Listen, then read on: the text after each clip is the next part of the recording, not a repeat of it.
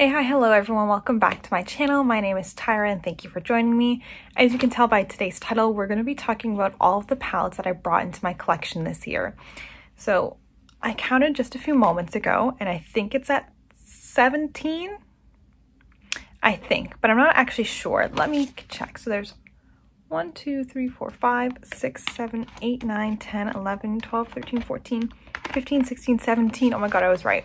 So I brought in 17 palettes this year, and these are the ones that are still in my collection.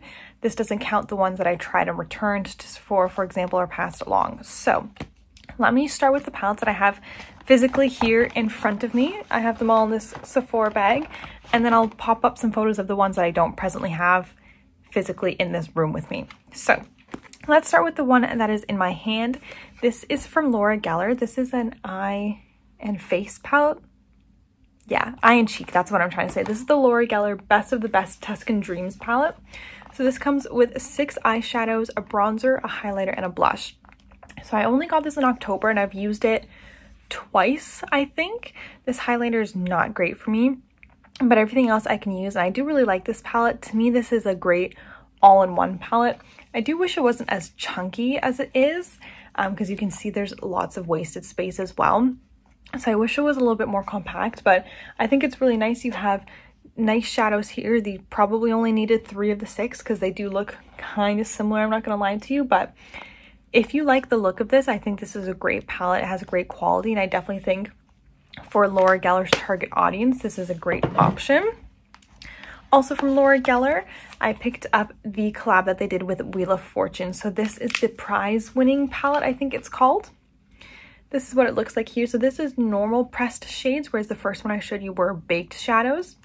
So this is what the color story looks like. It's giving ABH and Mario palette from years gone by. It is really nice. Is this my favorite palette that I've ever tried and used? No, but am I happy to have it? meh. I'm not so sure how long this palette is going to stay around in my collection. Like, I definitely want to get more use out of it, and you can see that I have used it. I've used this maybe five times, I want to say. But I just feel like this won't be a palette that I prioritize reaching for. Nothing wrong with the palette or the quality or anything like that. It's just this over other things in my collection. I'm not so sure this will be the first thing that comes to mind or like the first thing I want to reach for. This might be a okay, well, I, I, I haven't used it in a while. I should probably use it kind of palette. So this might be on the chopping block. All right, let's hop over to Natasha Denona. This was the first palette that I got this year. This is the Natasha Denona My Dream palette. I should say last year. I purchased this palette in the spring 2023 VIB sale. Oh, I'm missing two shades. Those are in my custom palette. Um, so I got this palette. I did wait a while to pick this up, which I'm really glad I did. Is this my favorite Natasha Denona palette? No, I don't think it is. The shimmers in here are just kind of lackluster in a way that I was not expecting. So they're really hard to build up. I love the mattes. The Natasha Denona mattes are like my favorite mattes to ever exist, but I just wish the shimmers were better. What I need to do, and I might do this week finally, is to label the back of these shades so I can finally pop them out and use them with other um, Natasha Denona palettes because I really want to mix some things around. But I love the mattes in here, but if you were looking at the shimmers and expecting them to be fantastic, they aren't. And I'm kind of half tempted to scrape them out and push other shimmers in there. But uh, I have this palette. Again, this is kind of in the same as Laura Geller where it's like ooh, I haven't used this in a while. I should probably use it. Like, I don't think I've used this palette since like June. So, yikes. Okay, and with Natasha Denona, I picked this up from Sephora. This was on sale for like $18 or so.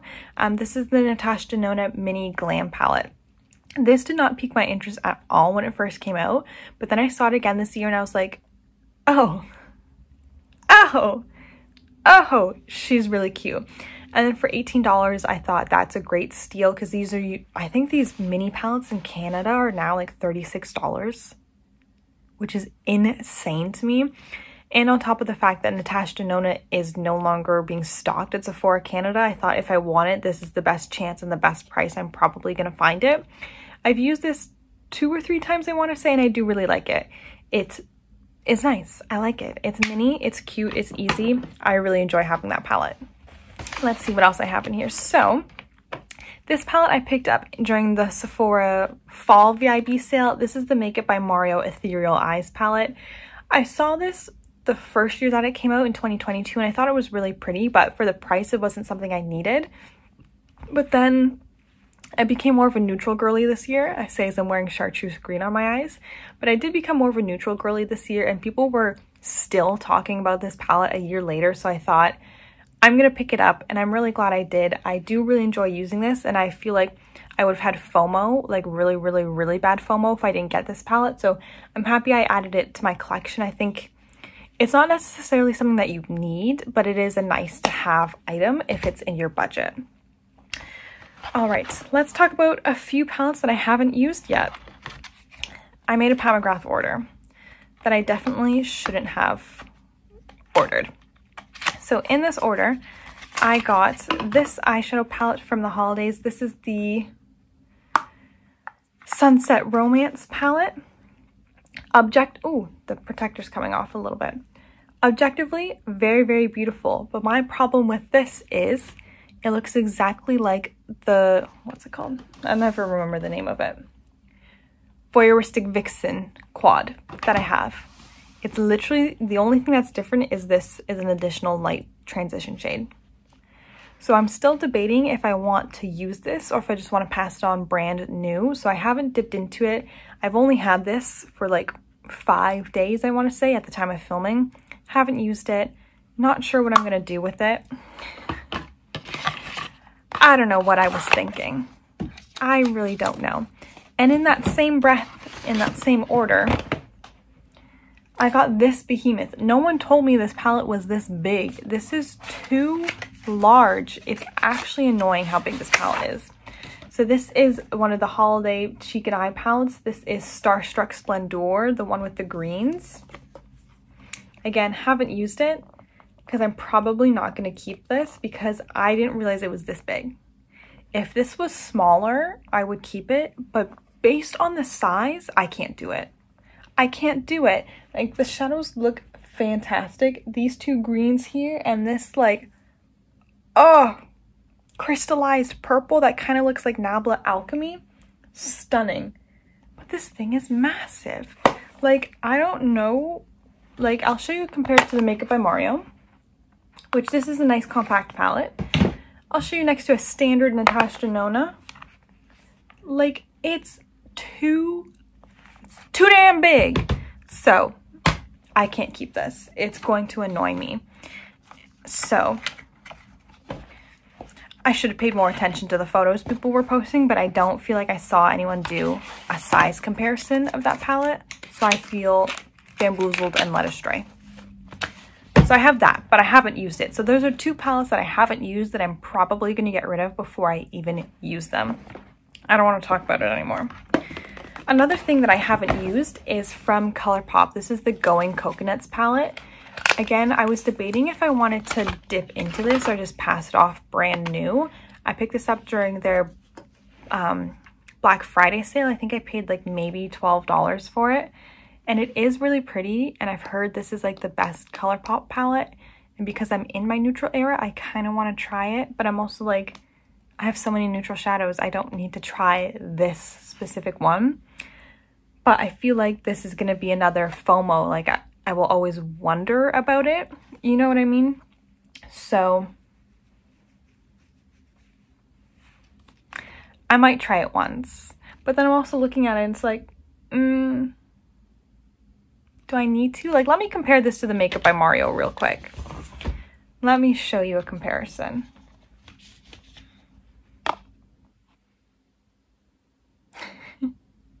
I can find most shades of the Gone Coconuts in this one here by Mario. But this one I still want to try because everyone loves it. But realistically, two of these lid shades I would probably never use. I would really, let me put that down. I like this shimmer the most, the chocolatey brown. This one I could probably get away with, and this one I would never use on my lid. That would solely be a highlighting shade. So then it's like, why do I need that many? Honestly, if it was just this trio at the bottom, that would be fantastic. So I think I'm gonna have to pass this on as well. But if you have any recommendations for a nice chocolatey single shadow, let me know because that actually looks really, really nice. But is it worth keeping a whole palette for one shade? Probably not. Ooh, I'm undecided. Let me know what you think. I think in my mind, I know it's best to just pass it on. But in my soul, I'm like, just try it. Someone won't be mad if you've used it once before they get it. you know what I mean? And I've already dinged one of the shades in it accidentally with my nail, so it's like, might as well use it. Guys, help. Okay, another palette that I haven't used yet. I just recently got this. I've had this for about a week. And this is the Pat McGrath Divine Rose 1 palette. So I did previously own this palette and then I sold it. And as soon as I sold it, I was like, why would I do that? No, no, no, no. This is her. This is she. She's stunning. I love the shades in this palette. And you wouldn't think I would, but I love them. They're so stunning. Do you see that duochrome doing its thing? Oh, stop it. So clearly you can tell this is kind of my vibe recently, like neutrals, soft, ethereal looking shades. I feel like this is ethereal eyes before ethereal eyes was ethereal eyes. You know what I mean? So this is so, so, so stunning. And look, at I have another nice chocolate brown. This one probably won't be as metallic. It's probably going to pull more of a satin. So I'm still on the hunt for a good chocolate brown shadow. But I'm not going to buy any because I'm on a no buy. But I just want to know about them. So this is probably the most exciting new palette that I have in my collection from this year. This along with um, Ethereal Eyes. So I'm so, so, so happy to have Divine Rose back in my collection. Okay, I only have three more things to talk about before we jump over to the palettes that I don't physically have with me. So I snuck this, oh geez. I snuck this one in here even though it's not technically a palette, but these are the new singles that I have acquired. So I got six shadows from Clionadh and five singles from Odin's Eye. I also did place an order from Shine by SD um, for some of their collab shades, the collab with Glam Smitty and oh my gosh, why do I always forget her name? The Earthborn collection. Jesus, what is their name? Seeking Shifts, Riley. I got there. So those are also on their way to me, but those were pre-order. Not sure when they're going to show up, but these are the singles that I've recently acquired. Like I said, six from Clionadh and five from Odin's Eye. I haven't used any of these yet, but I do have other Clionadh shades in my collection, but I didn't have any Odin's Eye. And I hadn't had tried Odin's Eye for about three years, so brought these guys in. Oh, never mind. I was going to say something, but it wasn't relevant. So the last two things in my bag are also from Odin's Eye. So these were the palettes that they released in the summertime and I loved the look of them, but Odin's Eye was doing some things that I didn't necessarily want to fund. But then I, over their, la their last few collections, have gotten better in regards of things I'm looking out for. So I picked these up during their Black Friday sale. I think these were 30% off and I could use a code as well. So like I said, this was their summer release. The first palette is the Jewels and Gems palette.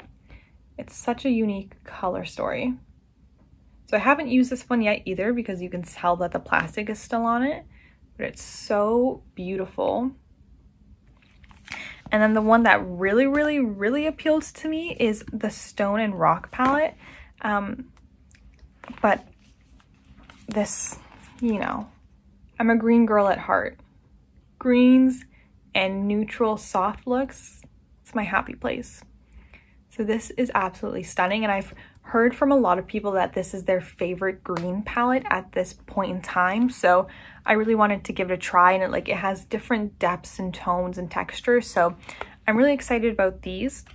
But I've been thinking about this as soon as these launched. I feel like they misnamed these because why is the green one called Stone and Rock and then the gray neutral one called Jewels and Gems? Like this one would make much more sense if it was called Stone and Rock. And this is Jewels and Gems because like emeralds and then like stones are gray.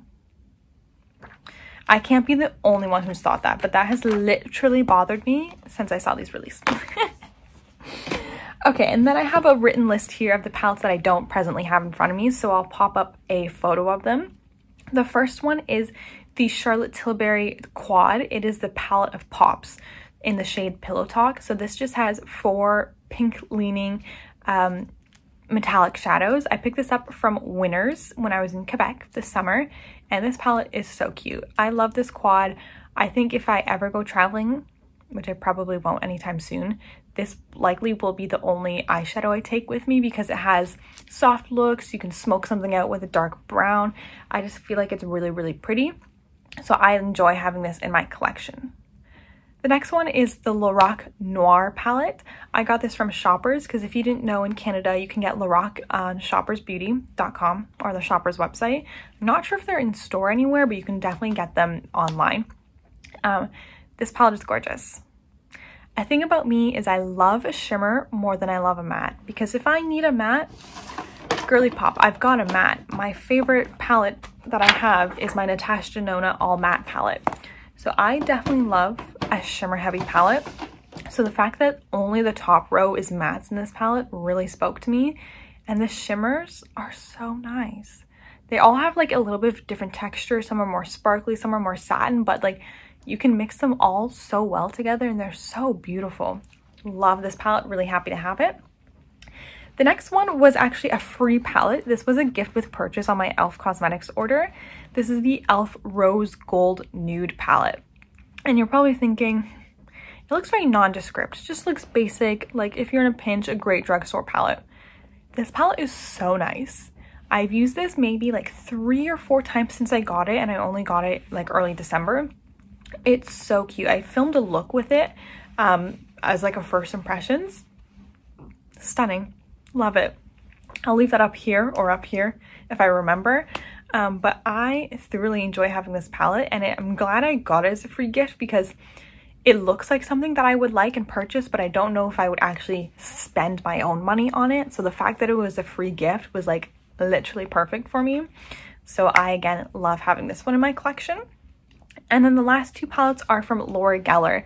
These are her holiday eyeshadow palettes. These are the baked ones. There's one called pink prosecco and like champagne toast i think so i got these for the purpose of work appropriate makeup if you will because they're softer and they're baked and i just felt like it was a nice gonna be a nice one and done kind of palette situation and not to mention i paid probably $12 each for them so i haven't used these palettes very often i've used them both twice i want to say and i do like them they do achieve the purpose that i got them for.